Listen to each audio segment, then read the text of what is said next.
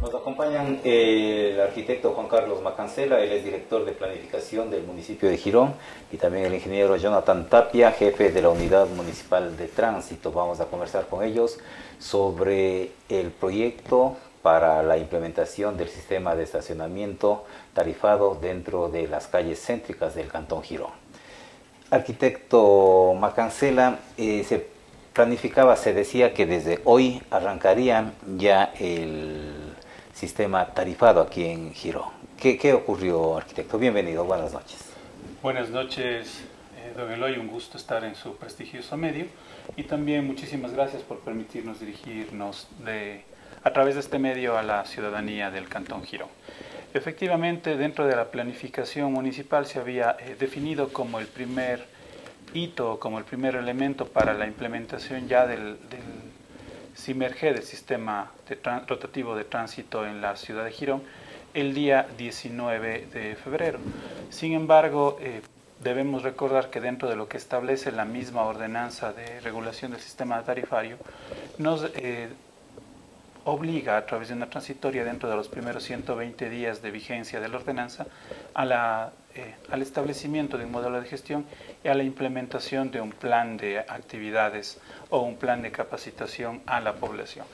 Este proceso debe cumplirse dentro de esta semana y ya conjuntamente con la implementación de los, de los eh, equipamientos requeridos para poder hacer el servicio ya por parte de los eh, señores guardias de guardias civiles se va a poder implementar. Lamentablemente el proceso de implementación ha tenido un retraso y debo decirlo así con toda frontalidad porque para la adquisición de eh, cámaras, para la adquisición de radios, para la adquisición de equipamiento que requieren nuestros compañeros para realizar este trabajo dentro de las calles, tenemos que hacer un proceso a través del portal de compras públicas debido a los retrasos que estamos teniendo por parte del Estado central en la asignación de recursos, estos procesos se vienen dilatando, toda vez que quienes nos están ofertando o dejan de presentar ofertas a través del portal o incluso cuando ya llegan a ser eh, oferentes adjudicados, solicitan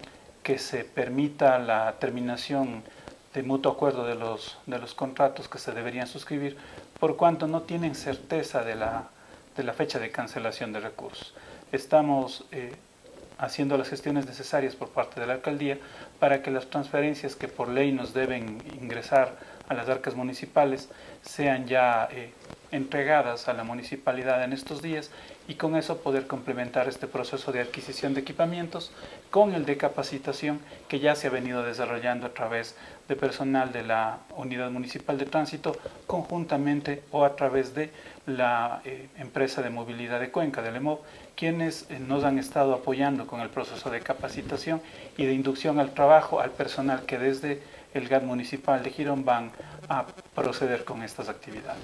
Es decir, este, esta ampliación del plazo de inicio se debe a la falta de entrega de recursos desde el gobierno central para adquirir equipos. Exactamente, sí, justamente esa es la situación.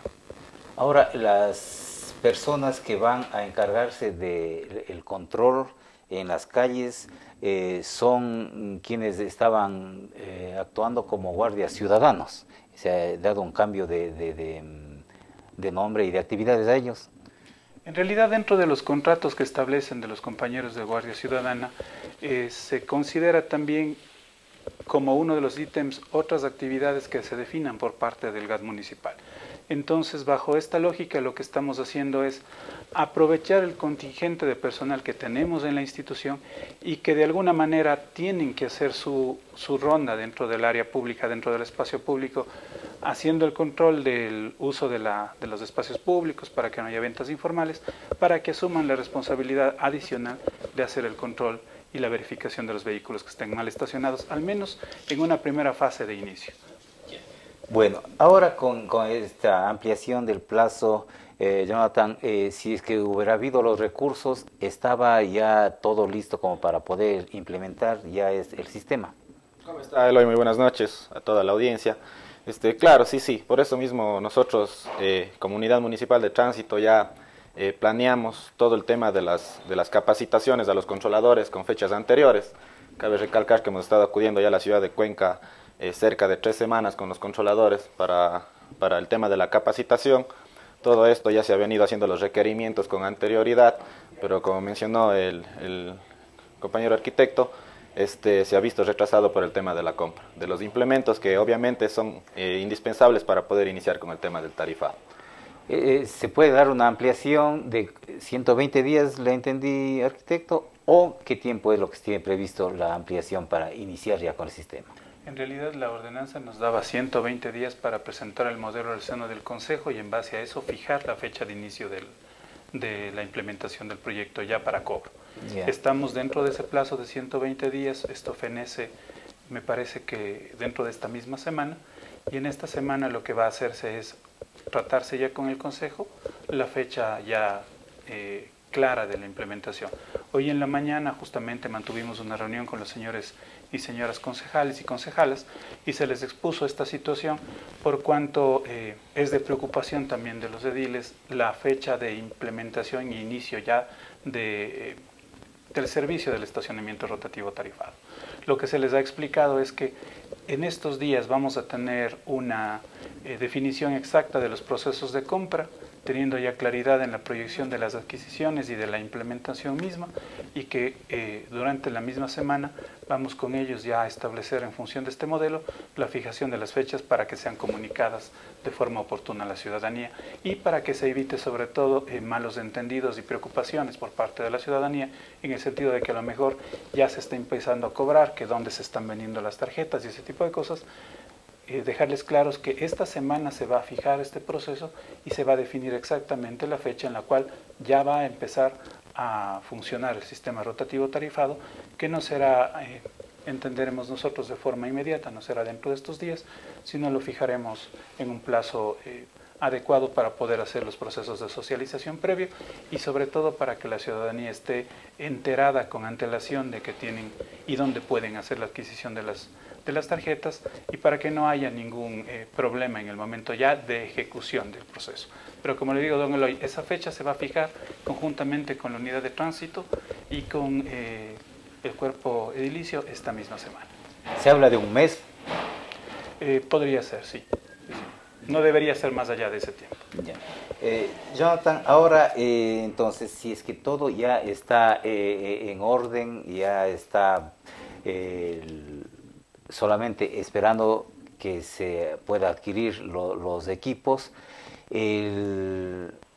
hemos visto, ya está señalizada las calles, todo. Eh, ¿Falta algo más que hacer todavía? Este, en realidad eh, hemos visto nosotros un inconveniente por el tema del secado de la pintura en ciertas calles céntricas. Se ha notado que un poco se ha, se ha quitado, se ha borrado, se podría decir, el tema de la señalética horizontal, ¿no? Eh, lo ideal sería volver a, remarcar estas zonas. Cabe recalcar que la superficie tiene que estar seca, eh, lo que recomiendan obviamente los fabricantes el tema de la pintura, eh, mínimo dos días, lo cual no se ha podido dar. Este, tenemos que estar pendientes del clima, eso sí, para poder salir a remarcar ciertas zonas que, que se han visto un poco afectadas por esto del clima. De ahí todo lo, lo, que, lo demás, señalética vertical, eh, como le mencionaba anteriormente, temas de capacitaciones a controladores, a mi persona, a los que vamos a estar en oficina.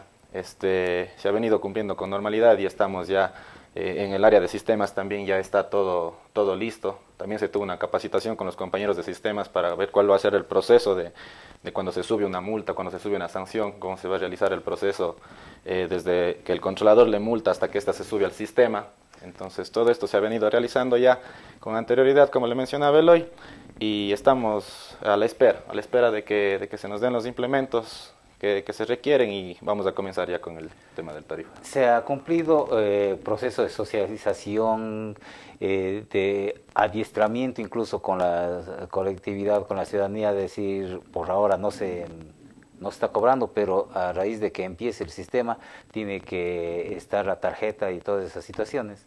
Sí, en realidad se ha venido socializando, eh, incluso hemos realizado volantes, hemos, hemos realizado algún tipo de, volanteo, se puede decir, con los mismos controladores, que igual en, estos días, eh, no a no más tardar de esta semana, eh, van a continuar con un nuevo volanteo, ellos han estado saliendo a las calles a socializar este tema, a socializar esta situación. Si han habido algunas personas que me han preguntado que dónde ya se están vendiendo las tarjetas, este tipo de cosas, directamente también he acudido, he conversado con, los, con las personas y hemos socializado, hemos socializado de, una manera adecuada, se podría decir.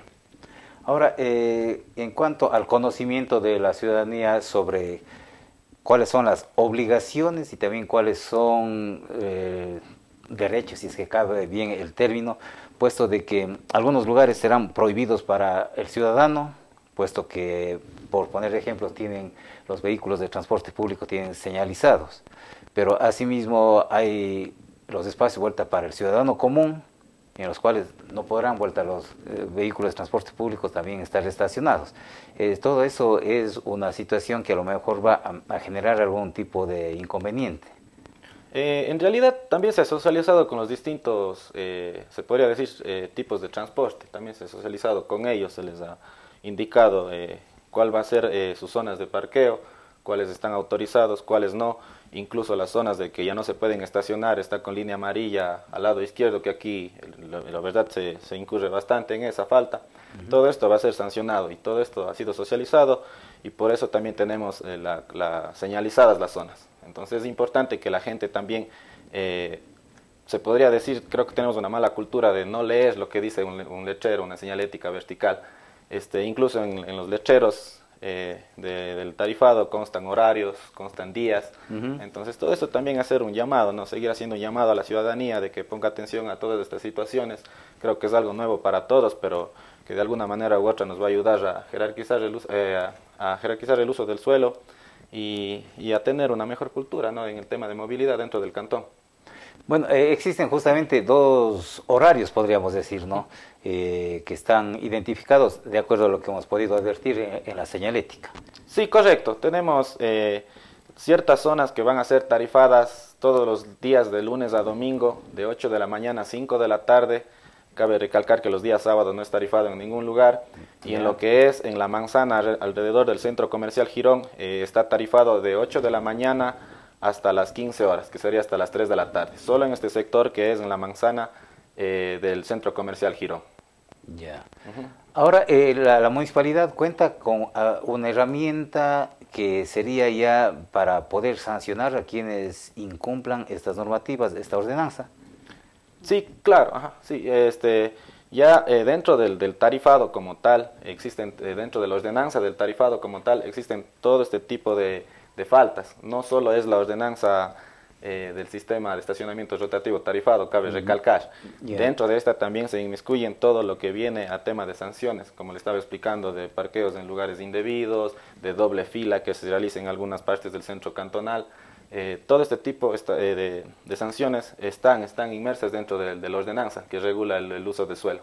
Ahora hemos podido ver experiencias, vayamos a la ciudad de Cuenca, lo más cercano, de que existe también irrespeto hacia la normativa y por ende incluso se han presentado agresión hacia las personas encargadas de hacer respetar la ordenanza.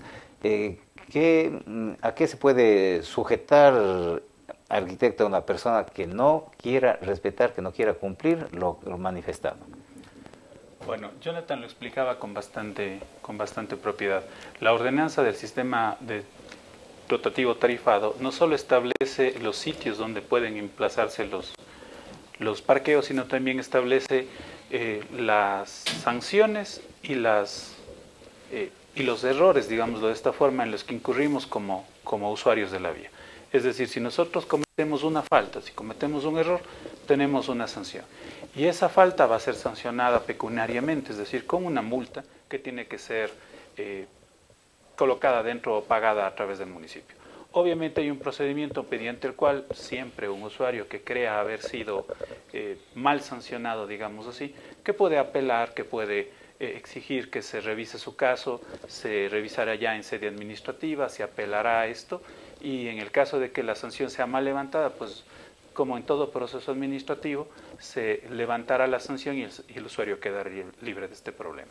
Evidentemente pueden haber eh, casos en los que se puedan presentar algún tipo de agresión, digámoslo de esta, de esta manera, por parte de algunos usuarios que crean estar siendo afectados por la acción de control.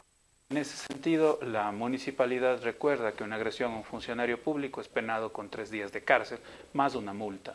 eso está establecido en la, en la legislación vigente y lo que no quisiéramos es llegar a un tipo de, sanción de este tipo en el cual tengamos que eh, solicitar la presencia de la policía, detener a, algún usuario y que llegue a haber algún tipo de contravención. Yo eh, apelo y en ese sentido creo que la ciudadanía de Girón es bastante educada, es bastante asequible este tipo de cosas. Como les digo, en el caso de que haya una sanción que uno crea que está mal levantada, siempre habrá un procedimiento de apelación que le permita a uno eh, demostrar en derecho que la sanción ha sido mal realizada y que por ende no tenemos derecho a cobrarle la multa. Siendo así, eh, no habrá ningún inconveniente. Sin embargo, eh, durante el proceso de, adiestramiento que usted bien manifiesta, es importante hacer conocer a la ciudadanía también cuáles son las faltas y cuáles son las multas que pueden generarse de esta falta.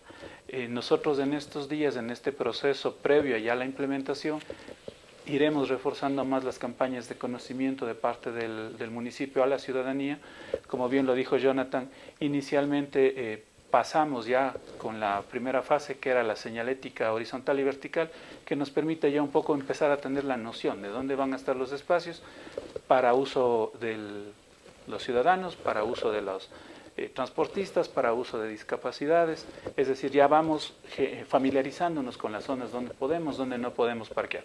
Si bien por el momento no se está sancionando, pero ya estamos trabajando o hemos trabajado en definir los espacios para que el ciudadano vaya ya asimilando dónde van a ser implementados esto. E incluso hemos ido solventando ya varias situaciones con propietarios de, de viviendas que tenían o que necesitaban acceso a sus viviendas a través de garajes.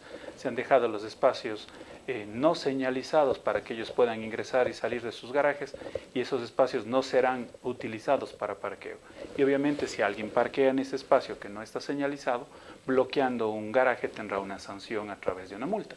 Entonces, ese proceso de, de acoplamiento ya ha iniciado, como le digo don Eloy, desde hace varios meses.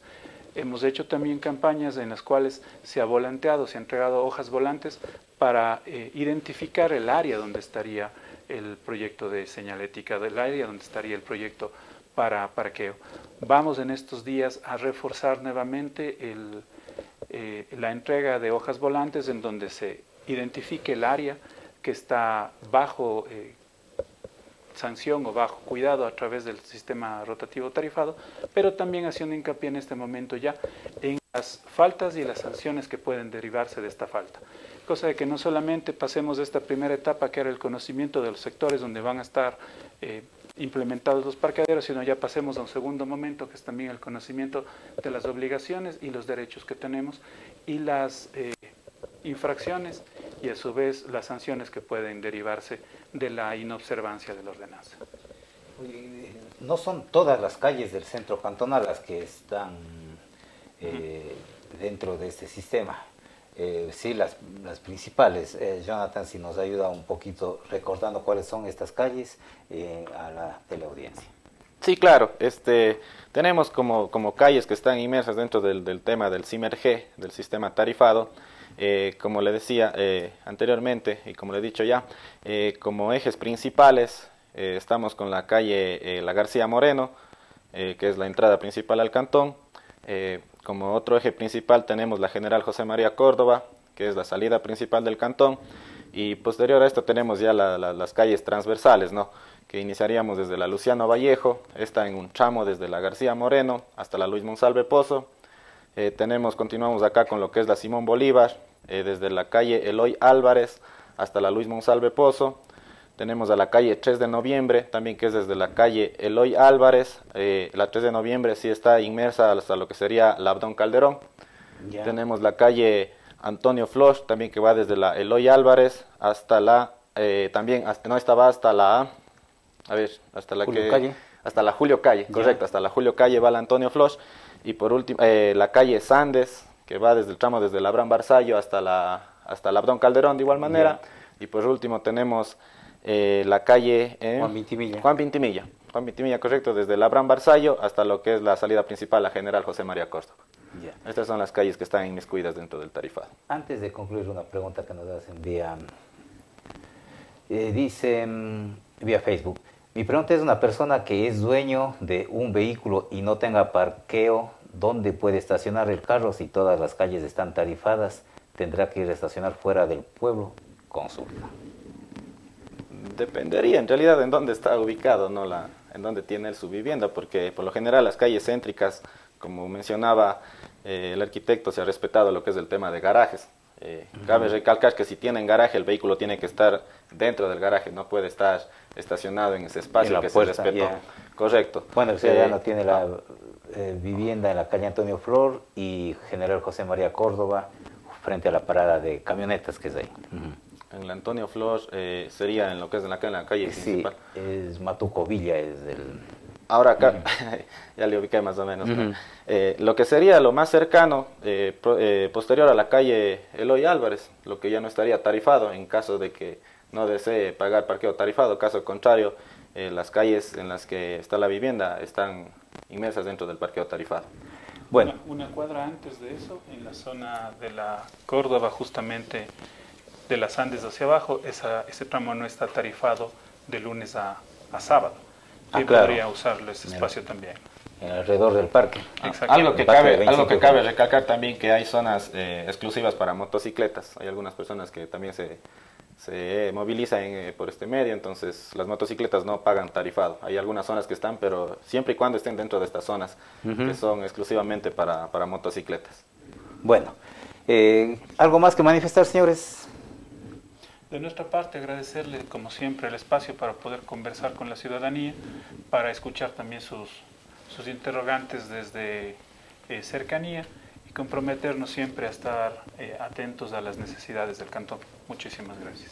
Gracias a ustedes. Han sido el arquitecto Juan Carlos Macancera, director de planificación del GAT Municipal de Girón, y el ingeniero Jonathan Tapia, jefe de la Unidad Municipal de Tránsito. Hacemos una última pausa, regresamos con más información.